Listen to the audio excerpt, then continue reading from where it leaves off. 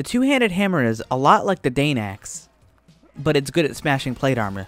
With fast attacks that hit for a lot of damage, you turn that plate armor into a disadvantage by using high bonus damage given with blunt weapons.